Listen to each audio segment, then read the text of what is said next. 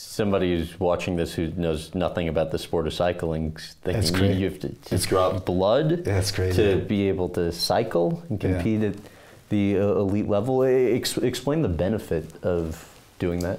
Yeah, blood doping is. Um, I mean, there's a huge benefit. Huge benefit. Um, when you, if you've taken, if you take uh, half liter blood out and then extract it in, you know, three weeks later or something. And is it weird Uh, to talk about now? oh, yeah. I mean, after yeah. I mean, having now it's not, not- not talked about it Yeah, for and- so long.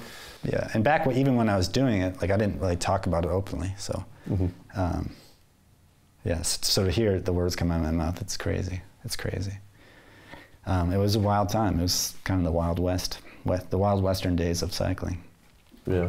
Uh, but yeah, they when you when it's uh, re-injected into you, um, you feel pretty much an immediate impact.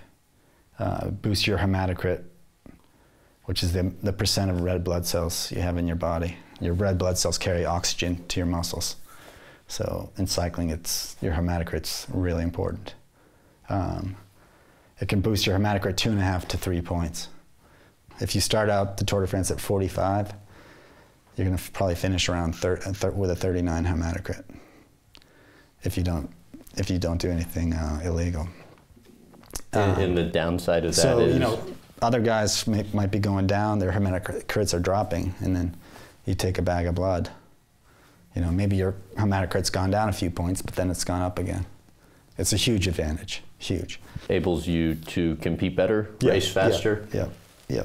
The the time uh, during a blood transfusion, you got a bad bag of blood. Yeah. Uh, first, explain what that means. A, a bad bag.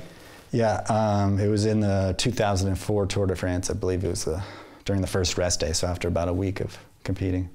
Um, yeah, I got a bag of blood. You know, about an hour after I was finished with it, I got up to use the bathroom, and I, you know, looked down, and I'm, you know, my urine is like black, black, black with a dark, dark red. I mean, brown, like just like a brownish black. Why? Awful. Basically, um, you know, I didn't realize it at the time, but the the bag of blood had gone bad. I was more, I was disappointed. I was less worried about my health. It's as crazy that, as that sounds, because I did end up getting a fever. Um, but I was more just disappointed that, damn, I just lost a bag of blood.